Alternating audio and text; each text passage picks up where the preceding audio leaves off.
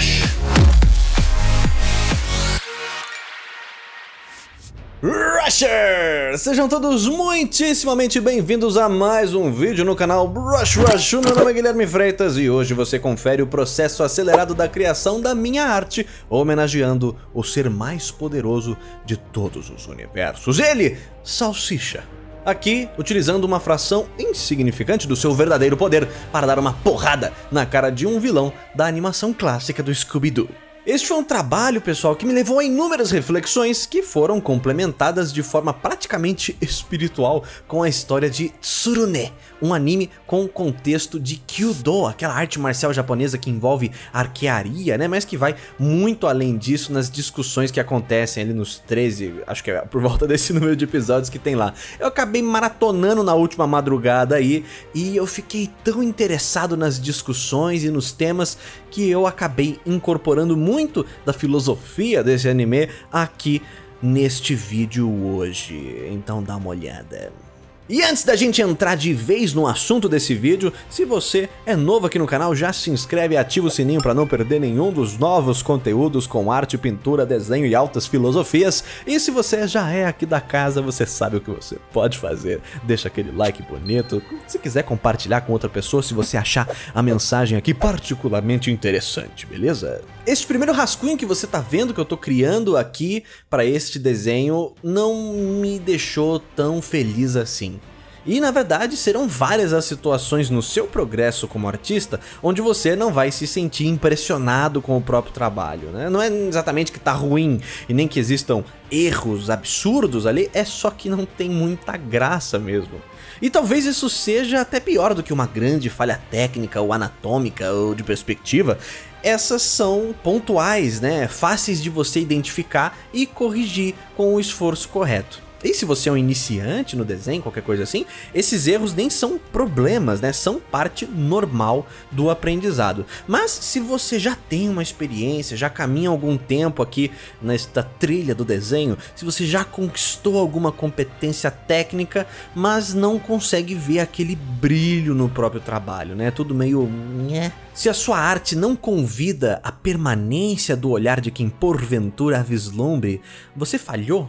E talvez o pior é quando esse esforço criativo não produz mais em você aquela sensação prazerosa de concluir com sucesso uma tarefa, né? Aí vale a pena? Apesar de que desenhar tá muito além do que concluir uma tarefa, né? É uma manifestação tão singular das nossas capacidades e imaginação, e eu acho que é aí que tá a questão, né? é muito próximo da gente. Normalmente entendemos que o sucesso de uma arte é reflexo do nosso sucesso como artista. E para cada projeto que falha, para cada pose sem graça, para cada vez que temos que desenhar de novo e de novo uma mão que nunca sai perfeita, mas nós descobrimos o quão pouco valemos como artista. Essa pilha de enganos. Se o nosso desenho é sem graça, é porque somos sem graça também. Nós associamos constantemente os nossos resultados com o nosso valor. E a cada falha, a gente vai murchando um pouquinho por dentro, né? E a repetição dessa mesma história pode ser tão maçante para quem tá começando também e para quem tá no meio do caminho, que quem sabe você já não passou por aquele momento onde você já imaginou querer desistir de arte de uma vez por todas, né? Largar a mão de tentar para nada, deixar esse negócio de desenhar com quem é bom de verdade, né? E necessariamente nessa linha de pensamento, um trabalho impressionante é o objetivo da produção artística. A exposição do nosso magnífico potencial interno é a motivação para você produzir. O propósito é fazer algo bem feito e incrível. A graça da arte é o estrondoso aplauso recebido por nossa impecável performance. O absoluto e inequivocável sucesso. Quando? Agora. Eu não sei quanto a vocês, mas essa parece uma visão um pouco complicada de se manter.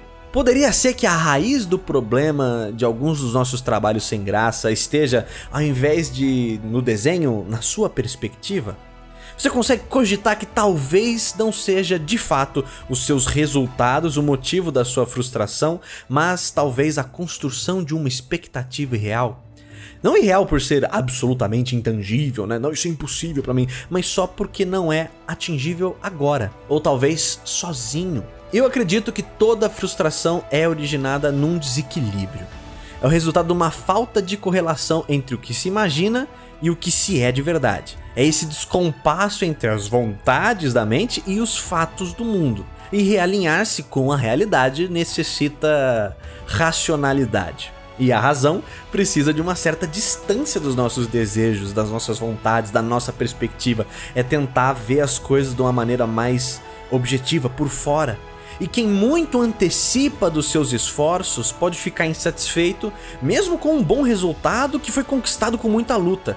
E pode acabar desistindo, porque acha que nunca está suficiente. E do contrário também, quem nada espera dos seus esforços perde aquele ímpeto para utilizar todo o seu potencial e se dá por satisfeito com um resultado ordinário, né? Pode acabar estagnado e vendo que não progride, pode desistir também. Ambos problemas parecidos com expectativa, né? Um é culpa do excesso e o outro da falta. Uma analogia legal sobre algo equilibrado, não é uma balança, mas a corda de um instrumento musical. Se muito tensa, plum, ela estoura, e se muito frouxa, não produz som.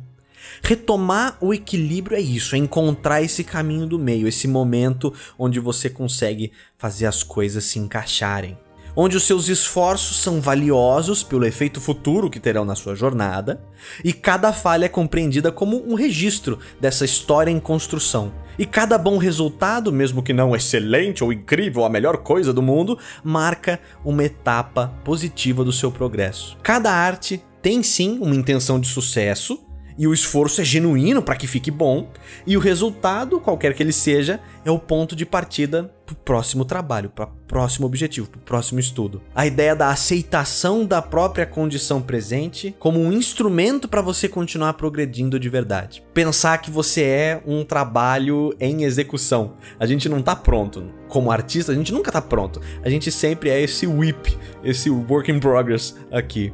Essa arte do salsicha foi tudo isso para mim. Eu passei por todos esses espectros de pensamentos e ideias, né? A frustração com a falta de energia daquele primeiro desenho me fez querer simplesmente desistir desse projeto. Pensei, quer saber? Eu acho que eu não, não tenho o que precisa para fazer isso dar certo. Vou fazer outra coisa? Qualquer outra coisa agora. Depois de uma pausa, eu percebi que eu tava com uma expectativa um pouco irreal ali de produzir sozinho algo magnífico, porque eu sinto que eu tenho essa vontade de trazer isso para vocês, né? E eu comecei novamente, com uma nova pose e um rascunho mais livre. E quando eu fui despretensiosamente ampliando os volumes, os detalhes da nova pose, eu não sabia mais para onde ir também. Eu deixei de tentar querer fazer algo incrível e eu fui fazendo qualquer coisa, né? E sem esperar nada grandioso do desenho, sem muita expectativa para o sucesso, eu também não tinha impulso para fazer as próximas etapas. Eu nem queria terminar de colorir, eu nem queria ver como é que isso ia ficar pronto. Então eu fui da super expectativa para expectativa nenhuma e para me realinhar eu tive que buscar uma ajuda externa, para que eu conseguisse ter uma antecipação realista, mas ainda assim com aquele desejo pelo bom trabalho.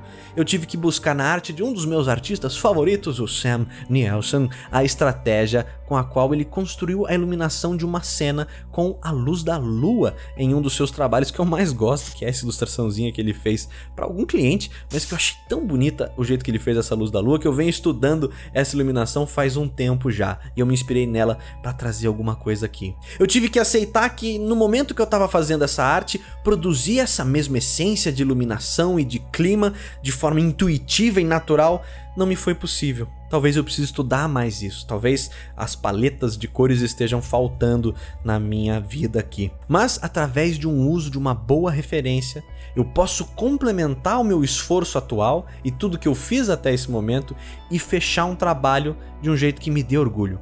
Eu tive que compreender as minhas próprias limitações, fazer o meu melhor e buscar ajuda quando foi necessário tentar sempre reencontrar esse equilíbrio para não estourar nem afrouxar demais, permanecer afinado e sempre motivado em constante crescimento. Essa foi uma das grandes lições com esse desenho para mim. E haverão dificuldades, né? Vai ter dia que nada parece estar funcionando, que a gente está fora do nosso centro.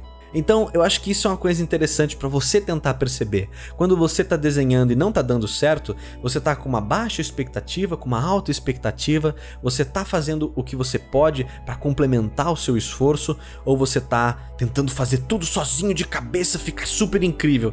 Eu tava um pouco assim nesse salsicha. Eu queria que só do meu cérebro saísse um monte de coisa incrível e a gente precisa olhar para o mundo lá fora e ver outras coisas para ter novas ideias. Então fica aqui o meu desejo que você consiga se analisar, que você consiga perceber os padrões que a sua cabeça está fazendo para que você entenda o que está causando a sua frustração ou a sua falta de motivação para continuar um trabalho. Eu acho que isso é interessante. Essas são algumas perspectivas. Eu acho que esse assunto dá para desenrolar muito mais.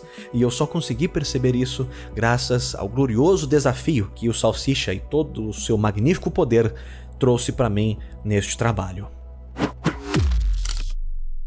Ah, salsicha, o que, que você tá fazendo? Desculpe, meu filho, eu não vou ficar aguentando isso mais não.